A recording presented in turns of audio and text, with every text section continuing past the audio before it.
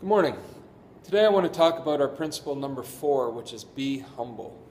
And there's two components to that. One, it, humility allows us to be more thankful, and two, it allows us to be teachable. So let's talk about thankful. Take some time today to thank somebody. Thank a team member that you're working with. Thank them publicly, but also thank them personally it really does a lot for the person you're thanking, but also for yourself to offer up thankfulness. It really changes your perspective. So make that a point today.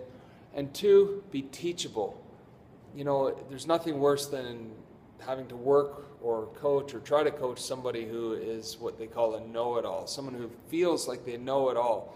When we're humble and we keep a, a humble approach, then we can be like Einstein, who was one of the smartest people in the world, but he said, The more I learn, the more I realize how much more I need to learn or how little I know.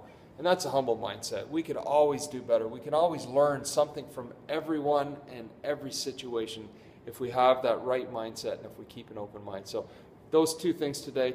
The principle is be humble and have an awesome day, and we'll talk to you soon.